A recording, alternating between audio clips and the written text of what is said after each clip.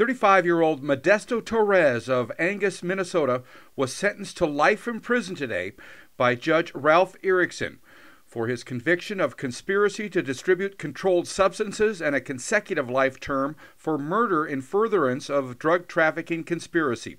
Torrez was found guilty by a trial jury in October of this year for constri- conspiracy to distribute methamphetamine, obstruction of justice, and for his role in the murder of Austin Forsman at the Flying J truck stop on March 11, 2016. Torrez was further ordered to forfeit $12,620 which was seized during the investigation. I'm Neil Carlson reporting for iNewZ.TV.